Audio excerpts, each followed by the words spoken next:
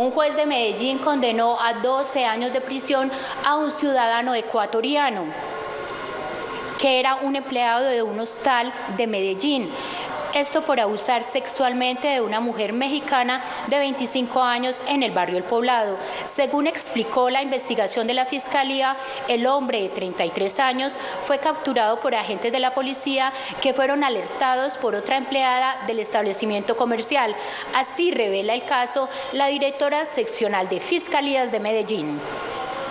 Según la investigación adelantada por un fiscal del Caibas, los hechos ocurrieron en un hostal del barrio El Poblado de Medellín el 21 de junio de este año, cuando el hoy sentenciado ingresó a la habitación de la víctima y la accedió carnalmente aprovechando su estado de licoramiento.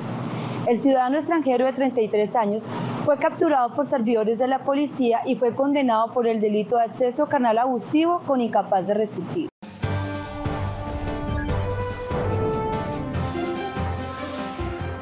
¿Sabías que ya ahora 13 Noticias cuenta con plataformas digitales?